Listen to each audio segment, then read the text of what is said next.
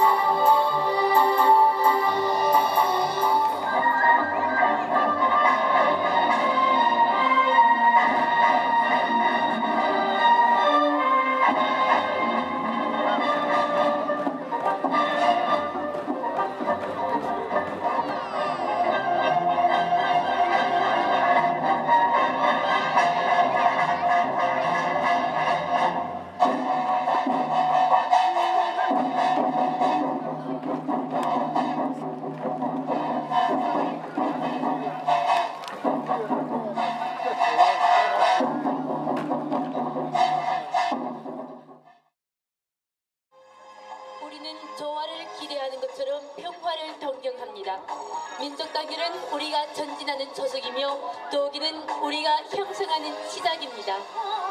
我们向往着和平，正如同我们期待着和谐。民族团结是我们前进的基石，更是我们。